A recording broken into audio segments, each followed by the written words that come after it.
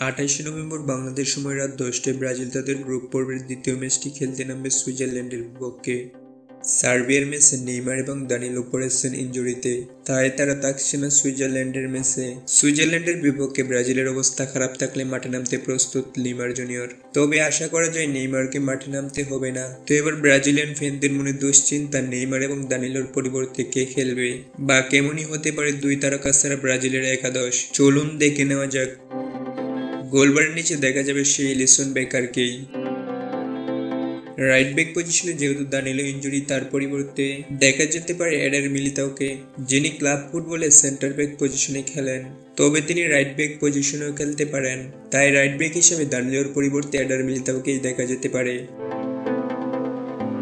Left back পজিশনে থাকবে অ্যালেক্সান্দ্রই যিনি সার্বিয়ার বিপক্ষে দুর্দান্ত পারফরমেন্স দিয়েছেন।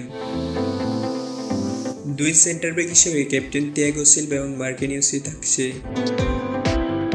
ডিফেন্সিভ মিডফিল্ডার হিসেবে থাকবে কেসিমির এতে কোনো দ্বিধা নেই। তার পারফরমেন্স দেখে যে কেউ মুগ্ধ হবে।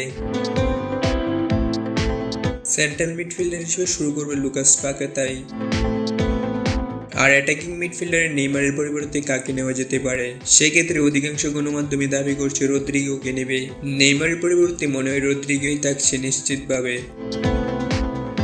আক্রমণভাগে রাইট উইঙ্গার পজিশনে শুরু করবে রাফিন হাই লেফট উইঙ্গার হিসেবে থাকবেন ভিনিসিয়াস জুনিয়রি যিনি কিনা গত ম্যাচে সার্বিয়ার বিপক্ষে দুর্দান্ত পারফরমেন্স দিয়েছেন। আর সেন্টার ফরওয়ার্ড হিসেবে শুরু করবে রিসার্লিসন আশা করা যায় সুইজারল্যান্ডের বিপক্ষে এই একাদশ নিয়ে মাঠে নামবে ব্রাজিল। অনেকেই ভাবছে নেইমার মাঠে না থাকায় প্লেয়াররা মনোবল হারিয়ে ফেলবে। কিন্তু নেইমার মাঠে না থাকলেও নেইমার বসে থাকবে সাইড বেঞ্চে। সাইড বেঞ্চে বসে থাকা অন্যান্য প্লেয়ারদের সাথেই, যেখান থেকেই মাঠের প্লেয়ার আত্মবিশ্বাস খুঁজে পাবে। সর্বশেষ আপডেট অনুযায়ী আগের তুলনায় নেইমারের পা অনেকটাই ভালো। তিনি গ্রুপ পর্বেই ফিট হয়ে যেতে পারেন। তো ভিডিওটি এই পর্যন্তই ছিল। প্রতিনিয়তই ফুটবল নিয়ে ভিডিও পেতে আমাদের চ্যানেলটিকে সাবস্ক্রাইব করে রাখুন। ধন্যবাদ সবাইকে।